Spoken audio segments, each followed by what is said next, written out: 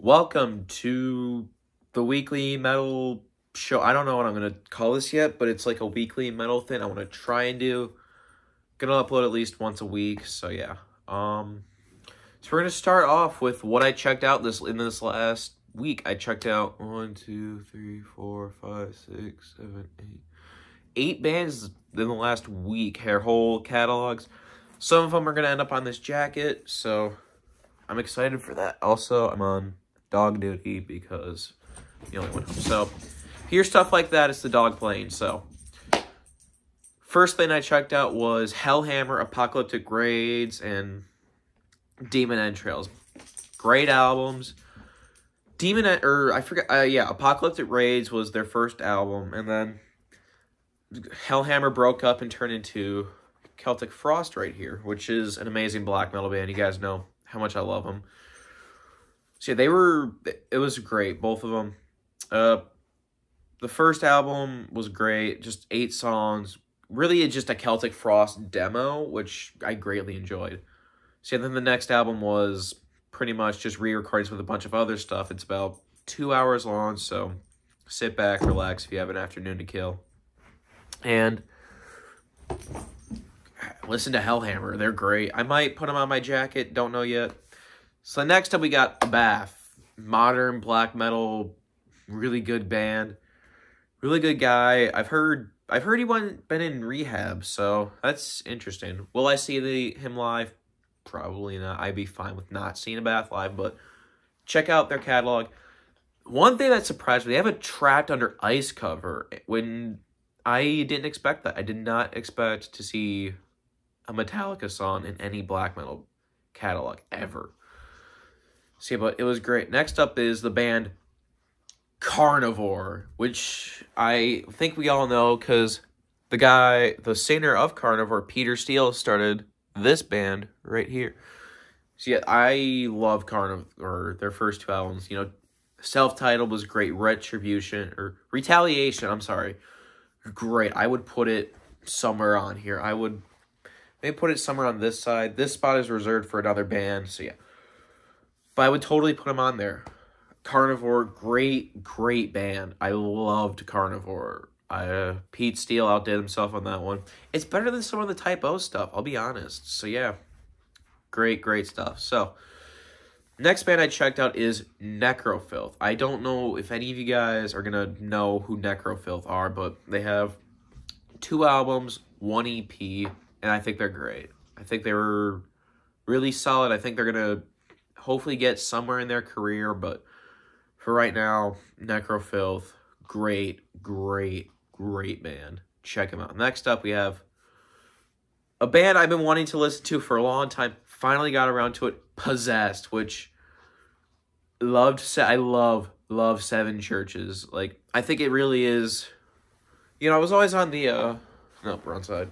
The. I was always. I always thought Deathmore started death metal, but I didn't want to talk about it at all. I didn't want to get into that conversation until I heard Possessed. So I finally listened to Seven Churches, and I th- it's a transition from thrash metal to death metal. So that's really what I think it is. So is it the first death metal album? Yes and no. So great catalog, even past Seven Churches. They don't have they have five albums if I'm remembering right, and I think one of them is also a live album. So I think they're great. I think you should totally listen to Possessed if you haven't already. Do I regret not waiting? Do I regret waiting this long to check them out? No, I'm glad I did though. I think I found them at just the right time. So next up is the band death metal band Tomb Mold, Tomb Mold, which I've heard interesting things about their latest album, The Enduring Spirit. I've heard it's not great. I listened to all of it, loved it, loved their whole catalog would definitely have them on my jacket. Same with Possessed and maybe Necrofilth. I think I already have a spot for Necrofilth that could work out for me in the end. Yeah, totally fucking great death metal. I love it. Not my favorite death metal of all time. My favorite death metal band is Death. So I, you can't go wrong with Death, all right? So next up, final band crossover thrash. My this is my very first crossover thrash band, and it's not DRI. It's Municipal Waste. Holy shit, I love these guys. These guys are fast, heavy, quick to the point. Basically, everything my ADHD wants in metal. They're just right there, first and foremost. Love them. So yeah, municipal waste. I would definitely buy one of those hats, a municipal waste hat, because I need I need a metal hat. I have this camo hat with a logo on it of a place I really love, but I can't say I'm going to dox myself. But great, I love the place, but I love the hat too much to lose in a pit. Like I could get a municipal waste hat, hat, and if I lose it, I wouldn't be overly sad, but I would also be upset by it. So yeah, that's pretty much yeah, municipal waste is definitely the best out of all of it. not going to say the worst because I don't think there was one really. So yeah. Next up, I have Battle Jacket updates. So first up, I was going to make this one into a video, but it iMovie was a pain, so it just never happened. But it was these Blades of Chaos God of War patches. And I saw these on an Instagram page, Altars of Patches, so I was like, oh my god, I have to have these, but I never found them again because I got them confused with pull the plug patches, which I also follow. So, but then I eventually found them on their website, ordered them immediately, and they took a while to get here because they're from some some some country I don't remember the name of because I'm American. Okay, so these blades patches, I had I had to have these when I saw them, and now I'm glad I have them, and they're like the perfect spot. Might put a pin here in the middle, just add, add some flavor. So the next up is one of an amazing, amazing patch as well. Dio Holy Diver, because I did listen all of Dio. What more can you say? Holy Diver, favorite Dio album. It's just, if you haven't listened to this, what are you doing? Title track, we've all heard. It's just got so many good songs on it. So next up is find it. Darkthrone, fuck off and die patch. It's a silk screen. So if the temperature's just right, it's cold. So when I put my hand down, I get cold. So make sure you're watching out for it, but it's not the end of the world. I'm not a fucking pussy. So Darkthrone, fuck off and die. Not my favorite Darkthrone album. I was gonna go with this or their first album, which I am blanking on the goddamn name of. Fuck, whatever. Yeah, but yeah, it's a death metal album. This is more black metal punk, which is interesting. That I it was good, and I liked it. So yeah, that's the main part about this. I, I if you haven't listened to this, what are you doing? Next up, I have where nope the other side. I have too many patches on this. No, that's not true. Once this thing is full, I have this Accept patch that I put by my Cannibal Corpse patch, which fits really well with the whole red aesthetic of my jacket. And even me for the speed red, but except I wanted a different one. I probably would have put Balls to the Wall on here for the album patch, but I couldn't find one. Or the one I did was like the Balls to the Wall tour patch, which was way too expensive for me. So I just went with the logo, which looks great right here. Accept is an amazing band, so what more do you want? And then I got right by my beloved Motorhead patch. It fit so perfectly. This Wasp patch. I love the this this is, Wasp is my the only good glam metal band if you ask me. Favorite album Throw a fucking dart. Favorite song, however, the song Asylum number 9. It is something about it just really captivated me, I guess. It's great. Check out Wasp if you haven't already. My dog agrees with you. If you check out Wasp, they're great. Then I just got this today and sewed it on right before I started filming. I got this Soulfly patch that I've wanted to put under my Sepultura patch really since I got Sepultura. And then I have, I may or may not have a Cavalera Conspiracy patch coming that I'm going to put right under there. So it'll all that'll look great on there, but that is coming from Germany, and it's gonna take until the twentieth to get here. So we're gonna have to wait a while for that part to get filmed. But now that I have this Soulfly patch, pretty much giving me a visual of what is gonna take up the rest of this section, I can finish up this whole part. Oops. So yeah, that is what's new with my jacket. And now, this is another exciting part. I have some more CDs to show you guys. Pick that up. Is going to come in use later. I'm not, you guys can't see what it is, but first CD I bought, two of them are already open, or three, one of them I already opened, the other didn't have any wrapping on it, and two more are still sealed. So, first up, this is probably the best album I've listened to all year that didn't come out in 2023. Roots, I love Roots. There's the back of the tribe. Goddamn glare. But yeah, you know, Roots, Bloody Roots. This was my most listened to song on Spotify. Attitude just fucking sucker punches you. Cutthroat, amazing. Ratamahatta. It's just a goofy song that I love. Breed Apart was great. Straight Hate, Spit, Look Away, Dusted, Born Stubborn. That is Born Stubborn. I've been listening to a lot lately because it's a great song. Uh, what else we got? Jasco, if I'm pronouncing that right. Really good song. Itsári. I don't know how to pronounce any of the those ones. Ambush, Endangered Species, Dictatorshit. It's all great, and it doesn't say on here, but I'm, I don't know. I guess does this version come with Canyon Jam or no? I haven't. I ripped it to my computer, but other than that, I haven't really put it. But I will be listening to this and all my other favorite metal albums for my favorite metal albums video. So yeah, Roots. There's the CD. There's the booklet. It's all amazing. Then look at what the song Itsári has. Acoustic guitars, tamboos, recorded live in the home of the Xavante tribe, uh, the Brazilian tribe they recorded this album with. And then Look Away has Jonathan Davis from Korn on here. So yeah, check out this album. If you're a new metal fan, if you haven't listened to this, it's pretty much just, it is just Sepultura ripping off Korn with Brazilian music in the middle of it. So yeah, and it's one of my favorite albums ever. I love this thing. Chloe, what are you eating, dog?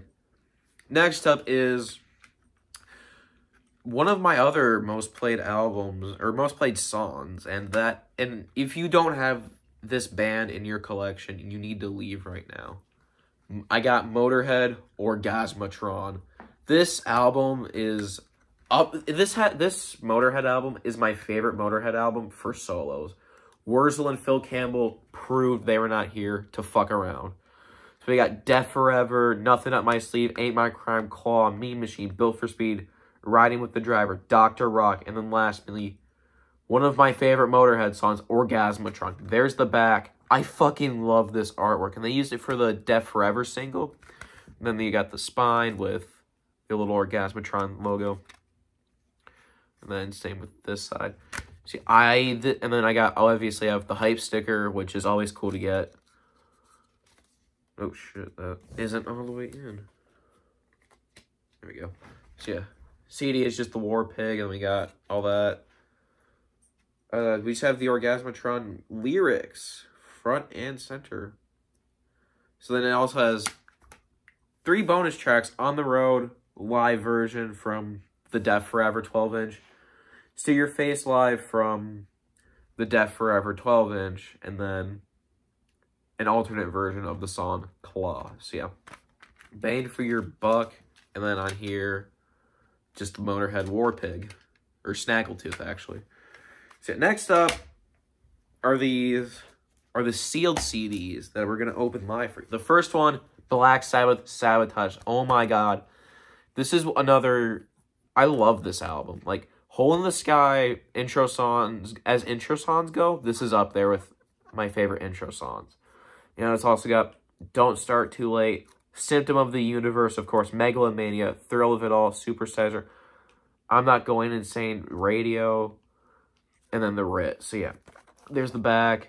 This is a great album. This like this is really like the last great Ozzy album. I mean, you get Technical Ecstasy and then you can tell they go downhill and then Never Say Die was just not their finest moment, but not their worst. So we're going to open up with the sword. So hopefully.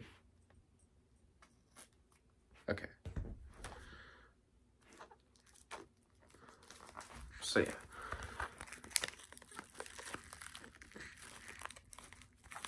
My dog is watching this and she's very intrigued. So yeah. You're free from your packaging. Ooh. Okay. Okay, this looks cool. I'll show you guys the disc. There's the disc. It looks damn near, uh, damn near identical to Sabbath Bloody Sabbath, but this is interesting. If you guys can tell me what that is, please let me know. But then we got that, just the band. That looks cool. Then with these Sabbath digipacks, for some reason, you're going to get your booklet with that. That's weird. They got Sabbath Bloody Sabbath. Is this just stuff from the Sabbath Bloody Sabbath tour? So, yeah. And then you got the band, of course. Whatever all words are. I guess about changes. And then a cute little photo of Tony Iommi, of course. That's interesting. There's no lyrics, though, which is interesting. But yeah, my favorite song off this one is easily Hole in the Sky. So, next up, I've had... Okay, so we all know Megadeth, right? I have an original pressing of Peace Sells, So Far So Good. So what my copy of Killing Is My Business is from 86. But this is the first Megadeth remaster I bought. Yes, the remasters sound like shit, but I think this one sounds like the least shit. And it is Rust in Peace. Yeah, I haven't even opened it yet. We, of course, you got Holy Wars, Hangar 18, Take No Prisoners, Five Magic, Poison Was the Cure, Lucretia, Tornado Souls, Dawn Patrol, Rust in Peace. All great out songs. This is a great, this is my second favorite Megadeth album. Like, no fucking joke. Then we got bonus tracks, My Creation, Rust in Peace demo, Holy Wars demo, and then Take No Prisoners demo. So I think we can just, you don't need a sword to open remastered Megadeth albums because it does that that that's it because it's lame.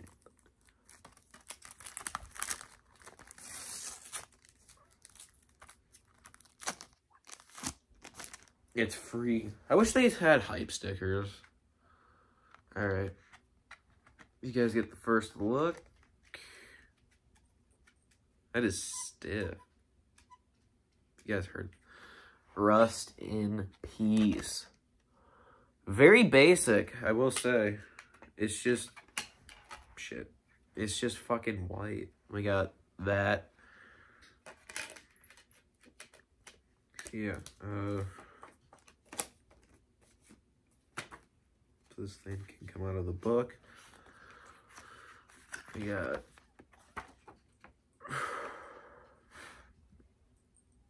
Dave Mustaine, little Dave Mustaine talking. Megadeth credits.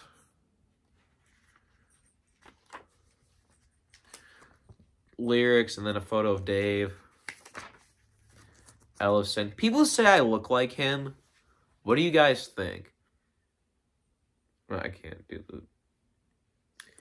People say I look like him, and I... I don't know if I want to see it. And we've got photo of Megadeth with Marty Friedman and Nick Menza, rest in peace. That's a photo of Nick Menza again. More lyrics. Marty motherfucking Friedman.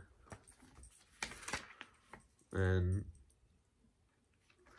more credits and words. Photos of Megadeth.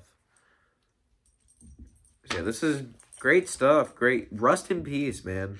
Everyone loves it. I loved it too, but I like killing as my business more.